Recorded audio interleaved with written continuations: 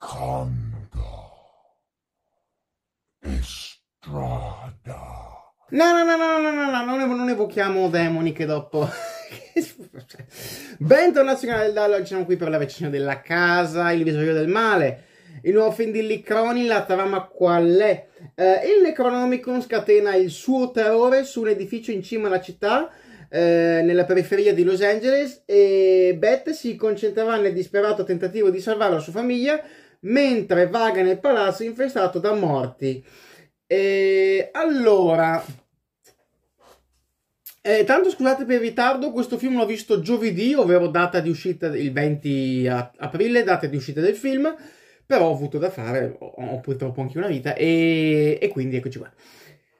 Allora, dopo All, eh, l'abisso, eh, Lee Cronin torna alla regia, e tra l'altro qua tra l'altro la recensione di Hall, eh, Lee Cronin torna alla regia eh, con un film molto importante, quinto film eh, di una saga mh, mm, il cui capostipite primo film è il classico del genere horror, cioè Evil Dead 1, La Casa 1, come, come volete, è del 1981, è un classico del genere horror.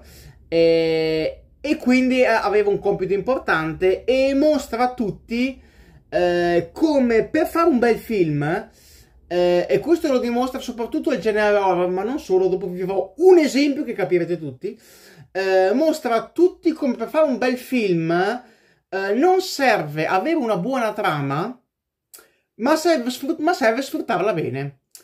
E questa è una cosa che questo non è riuscito a fare eh, il, quello lì della suora che mi dimentico sempre il titolo della suora che fa gli esorcismi non è riuscito a fare. Eh, tantissimi film horror non so volete cioè qualsiasi film horror non so Black Phone eh, la Obbligo Verità Slenderman eh, hanno eh, magari non hanno una buona trama ma non sfruttano neanche bene quello che hanno il poco che hanno non lo sfruttano bene. Questo film non ha una trama, oh la madonna, la trama dell'anno, non ha la trama della vita, ha, ma anche perché, perché? Perché è il quinto film di una saga. Non è che è il quinto film di una saga dove ci sono sbudellamenti, squartamenti, sangue a, a fiumi letteralmente, o pioggia di sangue letteralmente. Mi aspetto la trama, uh, l'Inception, la trama mega galattica super costruita. No, però uh, sfrutta al meglio quello che ha, c'è una trama semplice, allora costruiamoci qualcosa su questa trama e continuo a sottolineare questa cosa, ve lo ripeto, questa cosa la sottolineerò per tutto il film, il fatto, e per tutta la recensione, il fatto che non bisogna avere una buona trama, ma bisogna sfruttarla bene, anche perché il film dura un'ora e 36, non è che dura 7 ore, non è Nymphomaniac, non è Avatar 2 o Il Signore degli Anelli, Ritorno da Re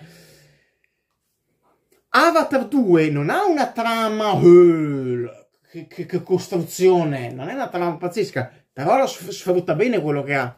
Questo uguale, ovviamente parliamo dell'horror. Perché? Perché Nick Cronin intavola una trama interessante sul discorso della famiglia, che famiglia che c'è e famiglia che deve arrivare. Uh, interessante perché comunque si, appunto, appunto si sa cioè, tu appena, appena, vedi il trailer che è uscito il nuovo trailer della casa, tu sai che quel film lì non va a finire bene. Perché i film della casa si sa che non vanno mai a finire bene. Questo, e questo non è uno spoiler per questo film qua. Ve lo dico già, questo film non va a finire bene, ma non è uno spoiler. È la saga della casa che è fatta così.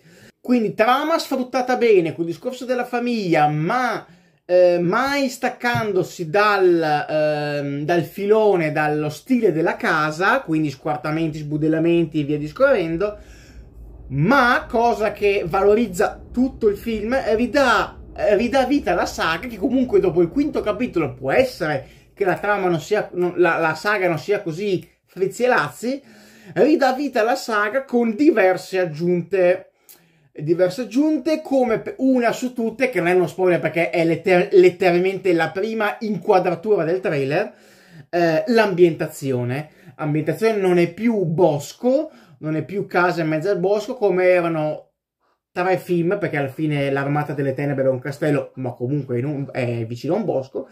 Comunque non è più casa nel bosco, ma è palazzo in mezzo, nella periferia di Los Angeles, di Los Angeles quindi esattamente l'opposto. Eh, cambiano anche e anche eh, a livello di espedienti, narrati- espedienti narrativi o luoghi, eh, per esempio, mi viene in mente, eh, senza fare particolari spoiler, lo spioncino. Eh, il, l'espediente narrativo, sia a livello eh, di regia che a livello di trama dello spioncino, è molto interessante, molto funzionale. Qua torniamo indietro, che hai una, una, trama, tra virgolette, povera, nel senso banale, cioè io ho fatto un 9.36 così, ma perché sapevo quello che andavo a vedere, ma non annoiato, cioè ho fatto un 9.36 così a godermi il film, perché dopo vedrete il voto dato, ve lo dico, è sufficiente e tanto. Ehm, il discorso dello spioncino è molto interessante perché viene sfruttato bene, non per tutto il film, in maniera centellinata quindi anche questi espedienti narrativi qua. Eh, bene il cast, soprattutto Alissa Shatterland che eh, mattat- è ammattatrice assoluta del film con le mimiche facciali veramente inquietanti. Capisco che l'hanno truccata, eh, gli hanno messo le lenti a contatto, ma aveva delle, delle, delle espressioni veramente molto molto inquietanti. Eh, il film è esattamente quello che volevo, esattamente quello che doveva essere. Eh, ovvero eh, una trama sì di base, ma squartamenti, sbudellamenti, sangue, ro- guai, guai, una scena di censura, cioè se mi devi fare un coltello che entra in un braccio, mi fai vedere il coltello che entra in un braccio, guai se mi fai vedere censure, se no arriva eh, Bruce Campbell e Timena eh, con la motosega. E quindi queste cose, lo sangue, le perfusioni, unita alla storia appunto di Ellie e Beth, eh, le due sorelle, eh, non annoiano, non stufano, perché comunque può essere che squartamenti non, non, interessano, ma invece non annoiano, facendoti capire che questa saga ha ancora tanto da dire, perché capisco che film horror su case nel bosco ne abbiamo visti giusto due o tre, ma invece se mi, mi, mi aggiungi queste cose qua e adesso la trama, la saga comincia a avere un filo narrativo distaccato dai primi tre con Bruce Campbell eh, e soprattutto attenzione, io continuo a dire Bruce Campbell più Ash vs Evil Dead perché c'è anche la stagione la serie tv, eh, sì, la nuova stagione, la serie tv, scusate, eh, comincia ad avere una, una filo narrativo interessante. Eh, e, questa, e, e in più con il sesto capitolo già annunciato che si pronuncia interessante perché come sappiamo i libri in Necronomicon sono tre quello della casa 1, 2, 3 quello della casa 4, quello del 2013, e questo qua, quello qui dentoni. Uh, quindi mh, mm, ci, adesso abbiamo i libri sono tre, abbiamo visto tutti e tre i libri, qui adesso si possono radunare tutti e tre i libri per creare qualcosa di pazzesco. Uh, allora, Due o tre espedienti narrativi non mi hanno fatto impazzire più di tanto, mm, li ho capiti ai fini della trama, soprattutto uno in particolare. Dopo vi dico esattamente cosa questo, comunque questo proprio direi di no. E, e secondo me ci volevano più collegamenti con gli altri film, ci sono. C'è anche un easter egg secondo me nascosto, eh, che dopo vi dico. Eh, però più collegamenti, ce ne sono pochi. Capisco perché comunque appunto è molto staccato dagli altri film perché siamo in un palazzo in mezzo a Los Angeles, quindi siamo comunque staccati, ma eh, c'è eh, comunque una mancanza evidente di collegamenti agli altri film, nonostante ci siano, soprattutto negli ultimi dieci minuti. Una cosa che non mi ha fatto tanto impazzire negli ultimi dieci minuti, ve la devo per forza dire nella parte con spoiler. E allora andiamoci su sta parte con spoiler. 3, 2, 1. Come si era visto anche nel libro, c'era la creazione di questo mostro gigante, mega super, che sembrava un po' il re dei ratti di The Last of Us. Eh, allora, non credo che sia per il budget, perché comunque questo film aveva un buon budget. Cioè, allora, il mostro me lo fai vedere non me lo fai vedere. Cioè, il mostro, lo, tra l'altro non lo vedi mai nella sua interezza, vedi sempre frontale, con la faccia di eh, Ellie e gli altri due figli, eh, Danny e Bridget. Ehm quindi eh, non lo vedo mai del tutto e questa cosa non mi ha fatto impazzire. Mi sarebbe piaciuto, soprattutto mi sarebbe piaciuto un finale un po' più intenso, con un po' più di roba. Capisco che era difficile perché comunque erano una normalissima ragazza, donna, con una motosega e un fucile a mezzo servizio e una bambina di 8 anni contro un mostro gigante con mille braccia. Capisco che lo, lo scontro era un po' impari ma mi sarebbe piaciuto qualcosina di più. Eh, magari eh, spostare una parte del combattimento dentro eh, il buco che si era creato dove è stato trovato il Necronomicon e magari, eh, non so, ehm, far cadere il mostro lì dentro, buttarci dentro la roba, poi il mostro usciva in una scena figa. Mi aspettavo una roba del genere, però vabbè. Uh, poi eh, mi è piaciuto tanto il collegamento netto con uh, la pioggia di sangue letteralmente che c'è nel 2013 uh, che pioveva sangue che è stata anche qua ricreata con la morte del mostro che um, nella, nel, nel tritura, trituratore lì quello che era con la, il bocchettone che spruzzava sangue e lì ha ricreato un po' la pioggia di sangue, ma soprattutto l'ha ricreata l'inquadratura dentro una macchina sul vetro con il rumore eh, del sangue sul vetro che ricreava un po' la pioggia. Questa cosa mi è piaciuta veramente tanto. Uh, poi, allora, um, col 2013 ha anche... Io parlo di quello del 2013 perché ha, è proprio il film... Eh, a cui si prende più spunto, ma per il semplice discorso de, eh, della, della, grafica, il rosso con nero, con le radici, con le raise, eh, ecco, questa cosa qua eh, è quello che ci va più, cioè alla fine questo film, questo film del 2023 con quello dell'81 c'ha quasi niente in comune, ha, ha qualcosa di più in comune con quello del 2013. Nel quello del 2013 era, eh, e questo è un, è un difetto di questo film qua, però è bilanciato perché quello del 2013 aveva meno storia, cioè alla fine la storia non era particolare, vabbè si va in questo, questa casa per far disintossicare Mia eh, e dopo vabbè a un certo punto delirio totale. E basta, delirio totale e basta, cioè la trama finiva, cioè dopo mezz'ora la trama finiva eh, e si recuperava un po' sul finale ma pochissimo però c'era molta più violenza, c'erano scene, la scena del taglierino eh, con la lingua, la scena dell'amputazione del braccio con il tagliacarne, la, eh, la, la scena quella della, della jeep sul braccio e mia che si stacca il braccio completamente, la scena che continuerò a, a, a ogni volta che ci penso mi fa senso e questa scusate quando Mia è nascosta nella casupola e c'è il coltello che va avanti e il coltello va qua sulla carne avanti avanti avanti poi va indietro vedi tutta la carne. Che male. Quella cosa lì.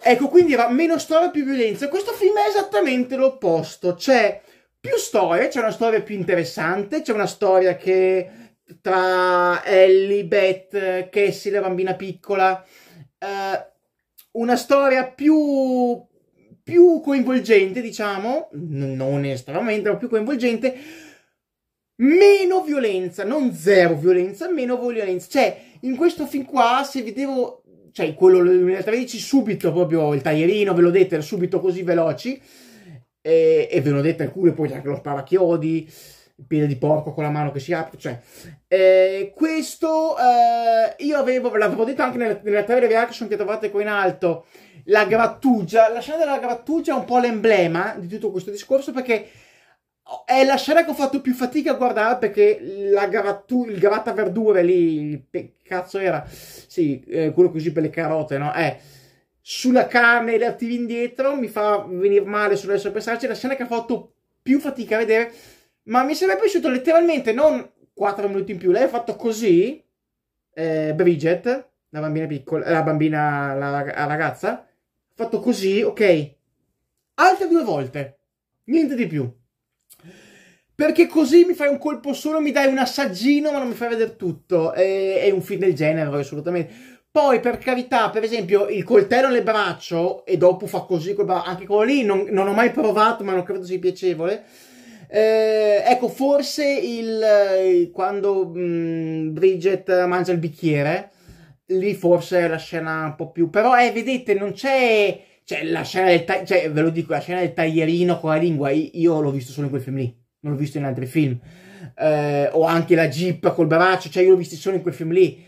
Queste cose, sì, violente, per carità di Dio, cioè, sì, violente, però qualcosina, mi sarebbe piaciuto qualche violenza in più però più storia. Poi la cosa che mi è piaciuta in assoluto di più, questa è la cosa che mi è piaciuta di più, perché la storia, ok, la storia di, di come si chiama, di Ellie, di Beth, la famiglia e soprattutto il figlio che lei, che lei è incinta, Beth è incinta, deve nascere il figlio che è un po' il fulcro per tutto il film, è una cosa che viene ripresa spesso, per quello che diceva la trama, ma il film parte con un'altra storia, con la storia di Jessica eh, che, eh, che, eravamo lì appunto una casa sul lago eh, e lì, e lì c'è il colpo, e lì è il colpo da maestro, lì Licaronin ha calato l'asso di briscola perché ha detto si sa già che la casa finisce male, quindi io vi faccio la... Infatti c'era questa storia che ho detto ok vabbè. E dopo la storia che, che vedi Lily Sullivan, ovvero quella attrice che interpreta Beth, è scritto un giorno prima e tu dici ah ok quindi questa storia completamente staccata, finirà a un certo punto, ma io so già che comunque finirà male perché nei primi 5-10 minuti mi hai fatto vedere quell'altra storia che è dopo che finisce male. Quindi so già che finisce male. E questa è una gran giocata, è una grandissima giocata, ma soprattutto l'Icroni che dà importanza al titolo in una scena maestosa, questa, che ultimamente a me non piacciono i film dove c'è lo schermo nero e il titolo in bianco con il titolo che mi, pia- mi, piace quando viene data importanza al titolo qua minchia se vengono date importanza al titolo. Satana che viene fuori dal, dal, dal lago col titolo che viene su a caratteri cubitali che sicuramente in lingua originale viene meglio perché è Evil Dead Rise qui è la casa risveglio del male infatti non era, non era quasi neanche dentro lo schermo eh, Evil Dead Rise sicuramente viene, viene fuori molto meglio. Eh, poi, allora, eh, la cosa che non mi è piaciuta. Quando la bambina apre la porta, allora eh, io capisco che è tua madre, però non c'è nessuna ragione, nessunissima ragione del perché tu abbia aperto la porta. Perché tu hai visto che tua mamma stava male, che è impazzita, l'avevi vista prima, eh, la, contro la figlia con il, con il punteruolo lì che gli ha sfregiato la faccia. Eh, hai visto che tua mamma non sta bene, hai visto che è impazzita, hai visto che sta picchiando tutti e non, lei, la tua mamma, non ti ha dato nessun input per cui tu dovresti aprire la porta e tu dici, eh, ma è la figlia, è sua madre, la figlia piccola, ok? Allora se quella è tua madre. E sei la bambina piccola, la porta la apri subito. Non lentamente, perché allora se quella di tua madre gli vuoi del bene, la apri subito la porta perché la vuoi salvare, non lentamente, con calma, perché devi creare la suspense, che poi suspense di niente, perché è quella scena lì l'hanno usata, credo, in tutti gli spot, in tutti i trailer, in qualsiasi cosa. Eh, quindi quella scena non mi è piaciuta. Mi è piaciuta la citazione a Shining, con, la, con l'ascensore che si apre il sangue che esce neanche troppo velato, o per fondo rosso, come volete la motosega, oggetto simbolo e cardine di tutta la saga. Eh, ho un dubbio forte sui libri e qua vi giuro aiutatemi. Scrivetemelo nei commenti perché secondo me c'è una incongruenza forte con la, eh, i, i vinili. Allora, il primo era datato 13 novembre 2023. Ok. Il secondo 24 gennaio 2020, il secondo e il terzo 24 gennaio 2023. Quindi 9 mesi prima. Cioè, ho letto male io, e appunto per quello ho detto aiutatemi, scrivetemelo nei commenti, e, ma soprattutto eh, il secondo e il terzo lo stesso giorno eh, 24 gennaio 1923 e nel terzo si di- senti il prete che dice eh, sono cinque giorni che eh, sono impazziti i, i, i, preti e che dopo gli ha dovuto fare pezzi. Eh no, no, scusami. Allora, non, allora, letteralmente non ci siamo con le date, perché se me l'hai fatto lo stesso giorno 24 e dopo mi dici nel, nel secondo CD, nel terzo 24 mi dici 5 giorni dopo, eh no, eh, scusami, eh, allora è 29 gennaio, non 24. Allora, le, non c'è un, un andare avanti. Secondo me c'è un'incongruenza forte con i le, le, date dei... non è una roba mostruosa dei vinili, però è, potrebbe essere un errore, una svista grossa, però aiutatemi. Figo l'espediente narrativo del libro eh, coi denti che si apre eh, solo se tu ti fai male. Se tu ti fai male ti tagli e quindi ti fai male, ti tagli sangue, quindi tutto il discorso della casa che ci va dietro ti tagli, eh, allora il libro si apre. Questa cosa mi è piaciuta. È un espediente narrativo che ci sta e più libro è molto figo il discorso coi denti in Necronomicon. Uh, io non ho altro da dire. Uh, a me il film è veramente piaciuto. Ha i suoi limiti, nel senso non è un film epocale, non è un film che rimane nella storia. Allora, visto che questo film lo aspettavo da tantissimo tempo e il voto sarebbe 7 più, ma visto che è un film che aspettavo tanto tempo, è il mio stile ed è esattamente quello che volevo vedere, il mio voto per questo film qua è 7 e mezzo. Altra cosa, giusto per chiudere, eh, non mi è piaciuto tanto l'espediente narrativo che eh, nel quello della casa, nei, nei, quasi tutte le realtà, in tutti i film della casa, tutte le persone diventavano possedute, eh, cioè il demone vi possedeva perché erano state uccise dalla demone, eh, oppure erano, sì, erano state uccise dal demone. Eh, qua eh, no. Qua, ma soprattutto in quello, sco- in quello, prima era proprio il fulcro del film, il fatto che tutte le anime purificate dal, dal demone dopo sorgeva Satana in persona. Qui invece no, eh, chiunque nel palazzo che fosse stato ucciso dal demone, eh, senza che fosse stato posseduto o meno, diventava dopo il, il, il posseduto anche lui. E è stato fatto, l'ho capito, per la scena del mostro gigante. Però eh, non l'ho tanto apprezzato al discorso del, del distaccamento, cioè è un po' esagerato che tutti quelli morti per colpa del demone dopo vengono eh, posseduti, non l'ho tanto apprezzato. Comunque, sette e mezzo, voto molto molto alto.